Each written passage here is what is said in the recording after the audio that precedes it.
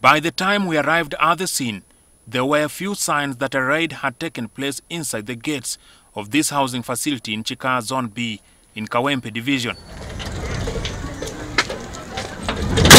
Portions of blown-off roof indicated a massive thrust had been exerted on the damaged sections.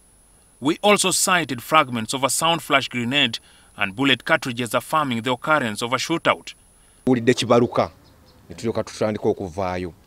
Naye nga mission engeri gye yatandiseemu kati nga ffe tetwagitegedde. Wabula tugenze ffe okuvaayo tulaba abasirikale badduka bano ababeera mu kizimbe kyabwe nga badduka. Those in the neighborhoods were woken up by the frightening sounds of the apparent exchange of fire, which took place at about 5 o'clock.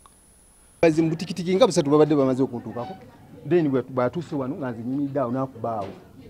Nakubaawo oba simanyi oba masasi balabba buleti Police and the local leadership say the raid was part of an operation, but they do not divulge more about it.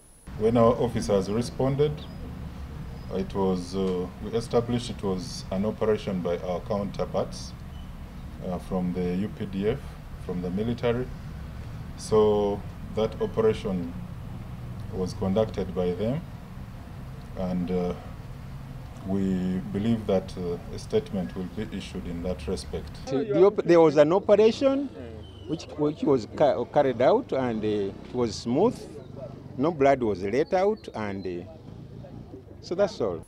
When contacted, the deputy UPDF spokesperson claimed he was unaware of any such operation carried in Kampala today. The residential premises have been under the occupancy of uniformed UPDF personnel. The shootout in Chikaya comes amidst reports of raids on several safe houses operated by the Internal Security Organization.